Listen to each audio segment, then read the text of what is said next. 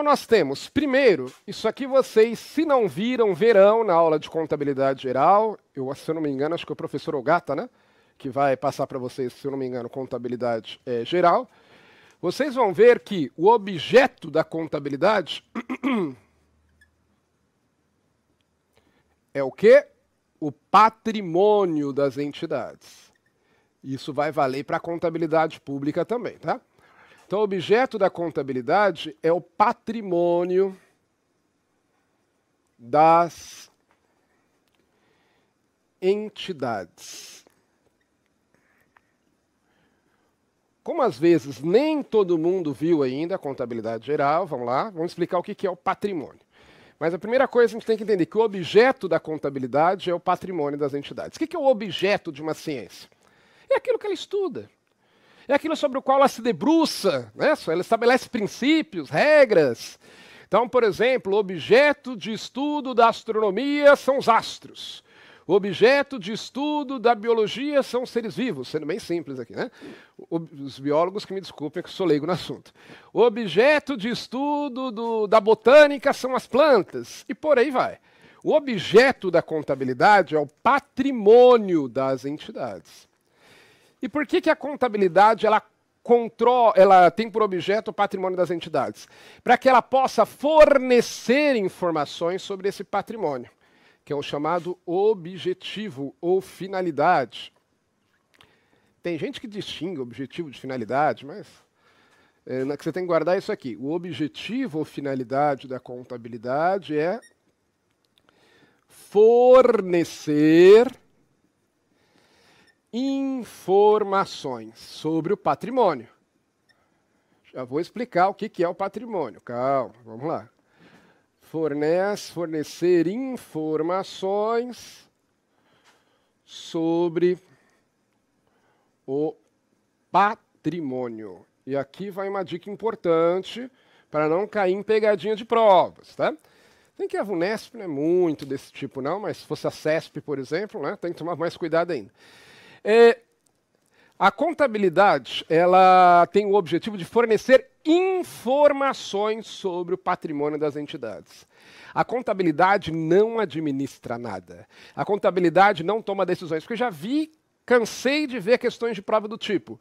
O objetivo da contabilidade é administrar o patrimônio de uma entidade. Está errado. O objetivo da contabilidade é tomar decisões sobre a melhor forma de gerir o patrimônio. Está errado. A contabilidade ela só repassa informações. Quem vai decidir, aí é outro departamento. Né? Quem dirige a empresa não é o contador, concorda comigo? O gerente de contabilidade não é ele que é o presidente da empresa. O presidente da empresa é outro cargo. Então a contabilidade, o que ela vai fazer é fornecer informações sobre o patrimônio das entidades. E para isso, a contabilidade tem que controlar adequadamente o patrimônio. A contabilidade tem que ter essas informações de forma adequada. Tá? E aí vamos lá. Aí nós temos é, o conceito de patrimônio, isso aqui é importante.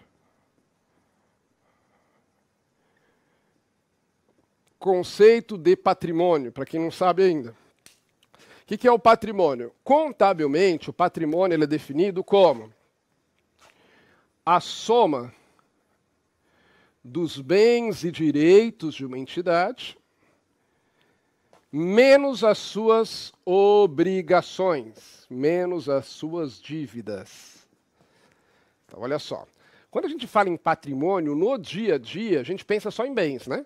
Fala, fulano tem um patrimônio grande. Por quê? Ah, porque ele tem várias casas, vários apartamentos, vários carros. É, a gente está pensando só em bens. Mas na contabilidade, eu vou levar em consideração também os direitos.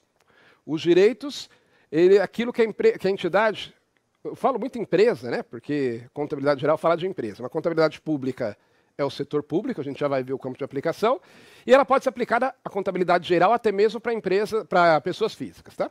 Então, direitos é aquilo que a entidade tem para receber, aquilo do qual ela é credora. E as obrigações? As obrigações são as dívidas.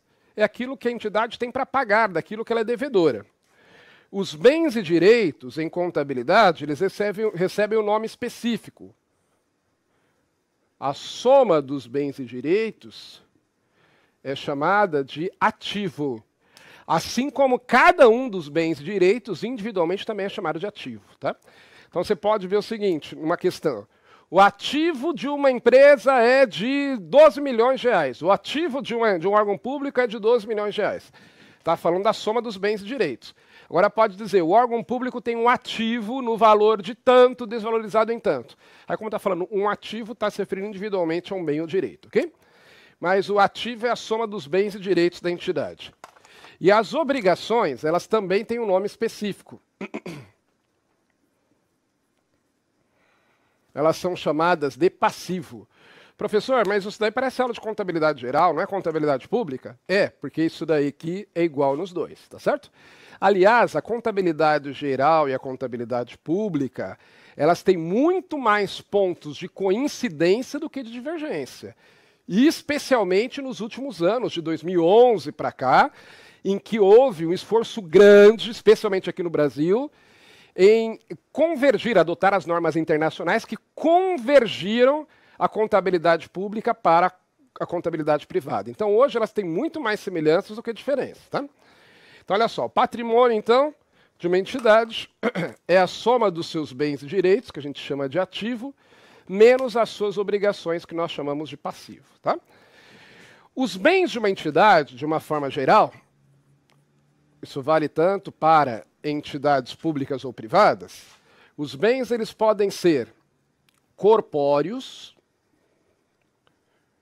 ou incorpóreos, também chamados de intangíveis. O que, que são os bens corpóreos? Bens corpóreos são aqueles que têm existência física. São aqueles que existem no mundo real, que você pode tocá-los, que ocupam lugar no espaço.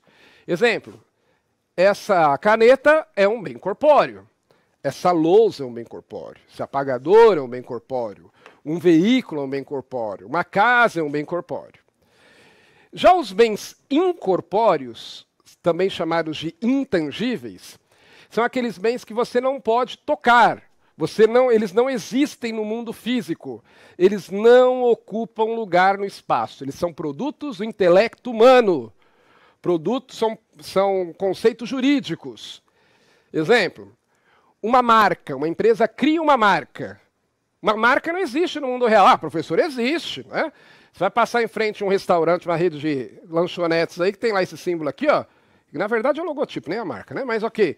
Mas você identifica, associa diretamente lá aquela, aquela entidade, né? Aquele, aquele restaurante, aquela lanchonete. É, mas na verdade isso é construção do objeto humano. A marca em si não é o totem. A marca em si, ela é, na verdade, um registro feito em um determinado local que dá à empresa a exclusividade de utilizar aquele símbolo ou aquele nome. Tá? Então a marca é um bem incorpóreo. Patentes, da mesma, da mesma forma. Uma, indústria, uma indústria farmacêutica desenvolve um novo remédio.